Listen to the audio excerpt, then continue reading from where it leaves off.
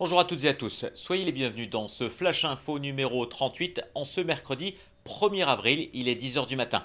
Ensemble, nous allons faire le point sur l'épidémie de Covid-19, à la fois en Polynésie, mais également dans le reste du monde. On va tout de suite commencer avec le nombre de cas en Polynésie. Il n'a pas bougé depuis hier. Nous sommes toujours à 37 cas et 489 dépistages ont été effectués toujours une seule hospitalisation. Je vous rappelle que le premier cas été détecté il y a plus de trois semaines, c'était le 10 mars dernier. Des chiffres pour le moment plutôt rassurants à la vue de ce qui se passe au monde et qui mettent en avant l'anticipation, les bonnes mesures mises en place conjointement par le pays et euh, l'État français en Polynésie française.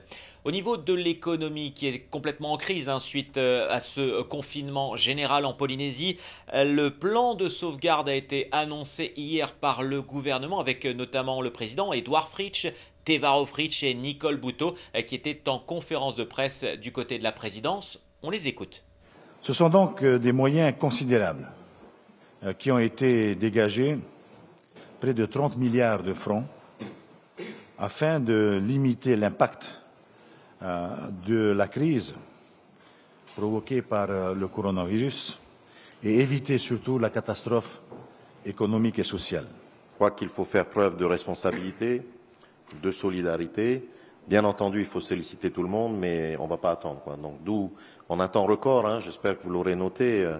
Euh, le Conseil des ministres a pris effectivement la décision de ce plan de sauvegarde économique la semaine dernière. La loi de pays a été votée euh, dans la foulée, puis promulguée. Euh, nous prenons les arrêtés d'application hier, euh, que nous communiquons aujourd'hui. Le PC est, mobilisé. Enfin voilà, je, souhaite vraiment dire à notre population que nous sommes mobilisés dans des temps records, sans compter nos efforts et notre temps pour faire en sorte qu'on puisse déployer ces mesures. Seront-elles suffisantes? L'avenir nous le dira, mais on ne pourra pas dire qu'on n'a rien fait. Nous sommes vraiment là pour pouvoir accompagner nos familles. C'est ce qui nous a amené à bâtir les premiers dispositifs. Alors la loi de pays prévoit tout un panel de dispositifs exceptionnels. Ceux que nous vous présentons aujourd'hui sont ceux qui sont mis en œuvre dans le cadre de la période de confinement. Et ce plan de sauvegarde, justement, va se faire en plusieurs étapes. Des étapes avec une première sur le confinement. Les explications avec Vaiana Argus. Les trois premiers dispositifs entrés en vigueur aujourd'hui sont strictement liés à la période de confinement. Ils s'adressent aux salariés, aux patentés, mais également à ceux qui ont perdu leur emploi. L'aide allouée a été fixée à 100 000 francs nets sur la base d'un temps plein et à 50 000 francs nets pour les revenus inférieurs à cette somme. Encore faut-il remplir certaines conditions.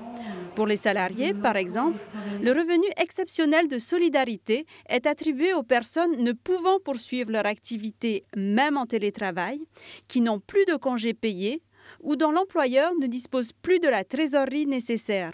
On demande aux employeurs de jouer le jeu, de demander l'aide si nécessaire, c'est-à-dire au départ de mettre en congé euh, si c'est en tout cas possible, dans la mesure où l'entreprise a la trésorerie pour payer les congés, et ensuite, s'il n'y a vraiment pas d'activité, à ce moment-là, de suspendre le contrat de travail et de basculer dans ce revenu exceptionnel de solidarité. Donc, qui va se faire sur une déclaration nominative, et nous verserons les 100 000 francs à chaque salarié dans la mesure où il a été confiné 30 jours durant cette euh, première période. Pour les patentés, L'indemnité de solidarité peut être demandée s'ils ont dû arrêter tout ou partie de leur activité. Mais attention aux fausses déclarations. Tout se base sur des déclarations sur l'honneur. Il faut euh, donc jouer le jeu, être sincère dans ces déclarations, puisqu'il y aura des contrôles qui seront faits a posteriori. Mais tout patenté qui est sans activité due à cette épidémie doit le déclarer. Enfin, l'indemnité exceptionnelle est destinée à ceux qui ont perdu leur emploi depuis le 1er mars tous ceux qui ont eu des CDD échus, qui n'ont pas pu être renouvelés, en particulier, on pense au secteur du tourisme, mais ça touche tous les secteurs. On pense aux extras également du secteur de l'hôtellerie. Nous pensons également aux intérimaires, aux chèques euh, services, aux chèques emploi-service. Tous ces gens-là qui aujourd'hui n'ont pas d'emploi peuvent solliciter l'indemnité exceptionnelle qui sera donc versé sur les trois prochains mois. Quant à savoir quand les premiers versements seraient faits, les interlocuteurs ne pouvaient avancer de date ou de délai de traitement. En attendant, les formulaires à remplir pour bénéficier de ces aides seront disponibles sur le site internet du CEFI et net.pf. Voilà, je vous rappelle le numéro vert du CEVI, numéro gratuit, le 444 200, ainsi que l'adresse mail pceco.cefi.pf. Outre le pays, l'État va également apporter son assistance et son euh, soutien dans cette crise économique et faire jouer la solidarité euh, nationale. On va le voir avec euh, ces mesures qui vont renforcer son soutien à l'économie polynésienne. Un fonds de solidarité mis en place pour les TPE, les petites entreprises, jusqu'à 420 000 francs par entreprise. Tout se fera bien sûr par dossier. La garantie par la BPI France des emprunts aux entreprises, également de l'IOM et la Banque de France à hauteur de près de 6 milliards pour les banques du euh, territoire, la Banque de Tahiti, la Socredo, la Banque de Polynésie. Enfin, un soutien de l'AFD et des banques des territoires pour le pays et les communes. Ça, c'est plus dans le cadre de la participation au financement des grands chantiers d'équipement public. Voici en tout cas les premières mesures annoncées par l'État dans le cadre de la solidarité nationale. De nombreuses initiatives fleurissent pendant ce confinement, euh, notamment du côté des producteurs locaux de fruits et de légumes. On voit cette initiative entre Punaouia et Pirée avec le Market Drive et qui a remporté un très vif succès, comme on le voit sur ces images. À Pune le Market Drive a reçu ses premiers clients vers 6 heures ce matin. Comme pour tous les drives, confinés dans l'habitacle de leur voiture, les clients passent commande et en bout de chaîne règlent la note pour récupérer fruits et légumes. Une initiative en phase avec les préoccupations actuelles. Alors, bah, j'avais une sacrée liste. Mais là, ben, aubergines, concombres, courgettes, tomates, salades. Euh. Il y a plein de choses qui sont parties alors qu'il était à peine, euh, ça fait à peine une heure que c'est ouvert, donc c'était euh, apparemment il y a beaucoup de succès. Mais moi, c'est des légumes frais, puis on sort de chez soi, donc c'est très bien. Puis on n'a même pas à sortir de la voiture, donc c'est c'est bien pour les feignasses. Voilà, je trouvais que c'était une belle initiative de venir directement du consommateur, du producteur au consommateur. Bon, en tout cas, ça a bien marché. Il y a déjà plus de de fruits euh, Oui, c'est un petit peu difficile. On est victime de notre euh, première édition. Et euh, effectivement, là, les produits disponibles sont seulement des légumes à feuilles et on fait ce qu'on peut. On informe justement tous les automobilistes.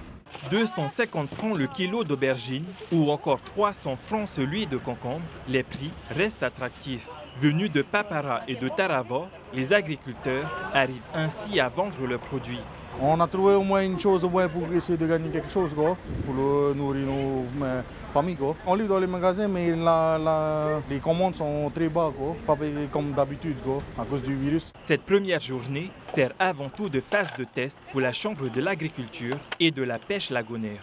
À Punaouia ou encore à Auretiniho, pour ce premier jour de Market Drive, très vite, la demande a supplanté l'offre. L'objectif vendredi prochain, réitérer ce succès avec plus de producteurs et de produits. Et en fait, on a eu beaucoup plus de voitures que prévu. Donc vendredi, normalement, on aura beaucoup de production des îles. On a aussi des mamas qui vendaient au marché, qui ne pouvaient plus, qui viennent. Maintenant, tous ceux qui n'arrivent plus à vendre au bord de route ou au marché, vous avez la possibilité de vendre ici. Donc veuillez nous contacter au niveau de la Chambre d'agriculture. On va faire le maximum pour vous intégrer dès vendredi et pourquoi pas dans d'autres communes si euh, ça continue à marcher comme ça a marché ce matin. Dans ce contexte de crise sanitaire, le slogan Manger local est plus que jamais d'actualité, puisqu'il est désormais question de la survie du secteur primaire. L'occasion de souhaiter un bon courage à tout le secteur primaire également euh, en crise. Direction maintenant la métropole avec des chiffres toujours très peu rassurants, des chiffres en hausse avec 509 décès lors des dernières 24 heures, nouveau triste record, ce qui porte le total à 4032 décès depuis le début de la crise sanitaire. Et il en est euh, de même euh, du côté des États-Unis où par contre euh, les chiffres s'affolent, plus de 200 000 cas du côté des Américains. C'est le dernier chiffre à ce matin. Depuis le début de la crise, ils sont à plus de 4 000 décès et ont dépassé la France. Et ce ne serait que le début de cette crise du côté des États-Unis. Les jours et semaines à venir s'annoncent très difficiles. On termine comme chaque jour avec une note plus légère et on va revenir sur Shaolin Tahiti et Erwan Kovic qui propose euh, des cours euh, notamment de kung fu ou de respiration. On découvre euh, ces images avec Thomas Chabrol.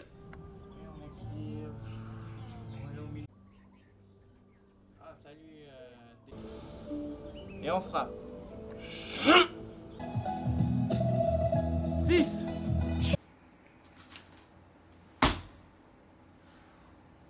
6 Et on revient haut. Et mouvement inverse. 5. Ok, on va faire le 8, 9 et 5, 6, 7, 8. Wouhou Et on ferme.